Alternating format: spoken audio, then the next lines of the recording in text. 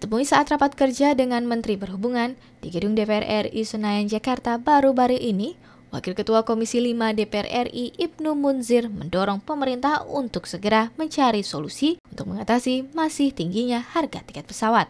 Pemerintah seharusnya bertindak tegas kepada maskapai penerbangan.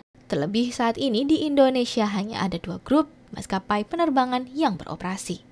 Menurut Ibnu Munzir, Komponen pajak bandara atau airport tax serta pajak-pajak lain yang tidak terlalu diperlukan bisa dikurangi atau ditiadakan untuk memangkas harga tiket pesawat.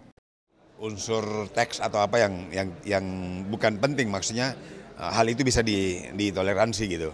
Nah, itu dikurangi untuk menurunkan harga tiket. Kan sempat sudah penurunan ini. Tapi kan pada saat waktu kejadian itu kan susah.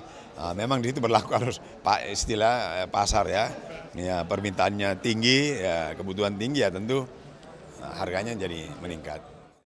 Anggota Komisi 5 DPR RI, Barum Daido menyampaikan, pemerintah harus bisa mendesak setiap maskapai penerbangan untuk terbuka dalam struktur pembiayaan ataupun biaya operasional mereka.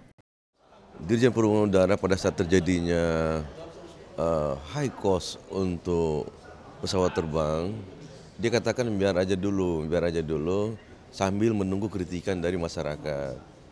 Setelah sekian banyak kritikan masyarakat, ini kok nggak ada respon. Nanti perhubungan kita minta supaya harus tegas. Harus tegas minta kepada maskapai agar semua struktur pembiayaan itu harus terbuka.